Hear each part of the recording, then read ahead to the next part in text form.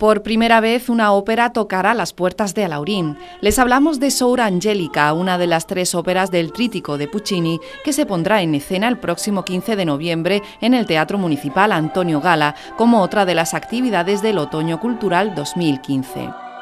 Sor Angélica será interpretada por la cantante de ópera Olga Vikova, una mujer que califica la obra con muchas notas de dramatismo. Eh, la verdad es que mm, es bastante duro en sentido mm, tanto interpretativo como mm, emocional.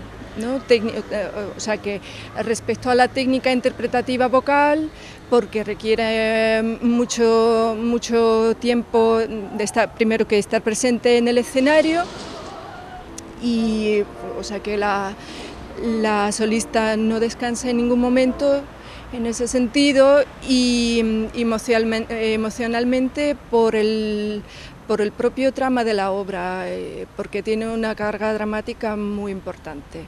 Desde el Teatro Lírico del Conservatorio Superior de Música de Málaga se agradece al Ayuntamiento de Alaurín el Grande su apuesta por la cultura y en especial por este género artístico. Me parece una apuesta súper bueno, decidida y muy valiente ya que se hacen conciertos de, bandas, de orquestas, ya que se trae teatro, se trae cine, se trae musicales. Yo creo que es bueno traer y que la gente conozca todo tipo de géneros musicales, que, no sea solamente unas miras cerradas a un determinado género, sino que bueno que esté todo abierto. Las entradas para Soura Angélica ya están a la venta en la biblioteca municipal, así que todos los interesados pueden adquirir sus localidades de forma anticipada.